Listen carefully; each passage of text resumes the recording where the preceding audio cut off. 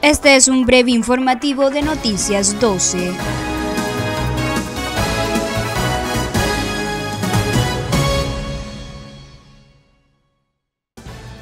El Ministerio de Salud detalla avance de censo nutricional en niñez, vacunación contra la COVID-19 y otras enfermedades.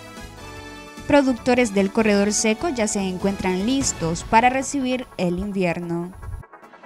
La industria del pan preparada para el Día de las Madres en Nicaragua. Encuesta de MIR Consultores revela que el 29% de los consultados, si tuvieran la oportunidad de irse del país, lo harían, mientras que el 73% cree que el principal problema del país es económico.